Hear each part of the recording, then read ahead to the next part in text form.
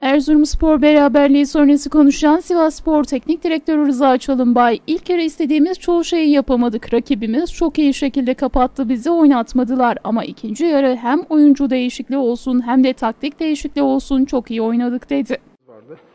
Özellikle Alanya maçı bana göre bizim en iyi oynadığımız maçlardan bir tanesidir. Bütün hava şartlarına rağmen ilk maç, arkasından ikinci maç oynadık hemen öbürsü gün. Ve orada şanssızlıklar yaşadık.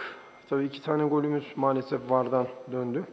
Hadi bir tanesi dönebilirdi, ikincisinin e, ol- olması gerekiyordu. Ve orada gerçekten iyi mücadele etti. Takımımız güzel pozisyonlar da yakaladı. Ve sonra buraya geldik tabii ki fazla dinlemeden bu maçı oynadık. Ve bugün iki devreli bir maç oynadık.